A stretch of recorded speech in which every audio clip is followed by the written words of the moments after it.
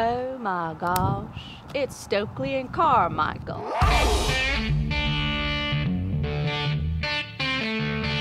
Yeah, that's Stokely.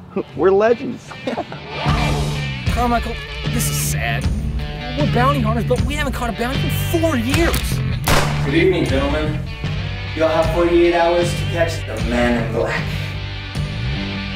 The man in black? He's the most elusive and dangerous character on this side of the county.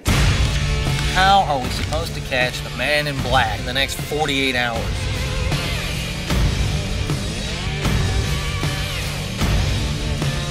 Come on, Carmichael. Oh, something fishy's going on.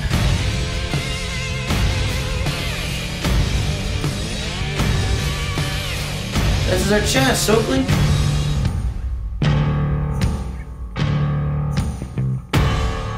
Come on, Carmichael. We got nothing to lose.